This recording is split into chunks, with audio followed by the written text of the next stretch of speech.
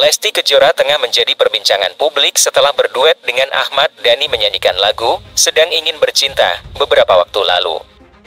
Istilah candu mengalir Lesti sontak menjadi viral di jagat sosial media terkait penggalan kata mengalir dari lirik lagu itu dinyanyikan dengan merdu oleh istri Rizky Bilar itu.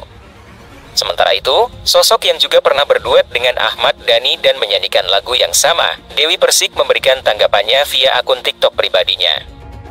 Dirinya awalnya tidak mengerti banyak netizen yang menyinggungnya kalau duetnya dulu dengan Ahmad Dhani tidak seviral Lesti Kejora.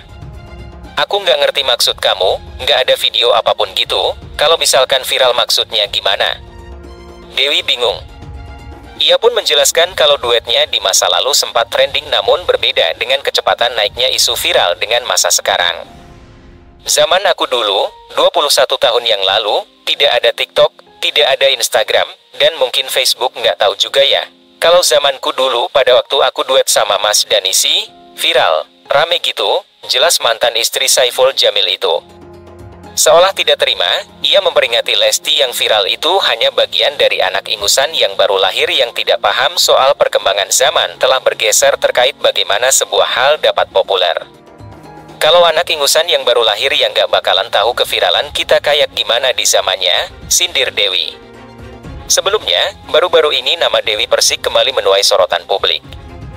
Lantaran dalam unggahan terbarunya di Instagram ia tampak aib seorang penyanyi berkedok saleha tetapi tidak sesuai dengan perilakunya.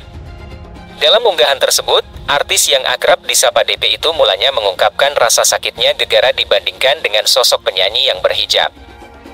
Doakan saya ya semoga saya bisa nyampe jemput hidayahnya dan menjadi soleha versi Allah bukan netizen. Cuma saran saya jangan terlalu mengagungkan orang yang berkerudung daripada saya, tulis Dewi Persik. Saya gak perlu sebut nama, si X ini disanjung setengah mati karena suaranya bagus dan katanya soleha. Tapi menurut saya yang soleha itu bukan hanya dilihat dari kemasan dan merasa suci, tapi dilihat dari gaya pacarannya yang tumpang tindih, kunci kamar, bahkan hamil duluan juga ada, imbuhnya. Tak hanya menyinggung soal penyanyi dengan penampilan berhijab yang hamil duluan.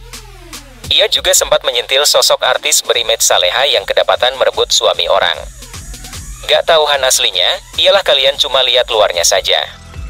Tapi saya di dunia entertain yang penuh dengan kemasan drama biar terkesan soleha. Ada juga loh yang ambil suami orang, ngegoda suami orang, DLL saya gak akan sebut dia siapa, tuturnya.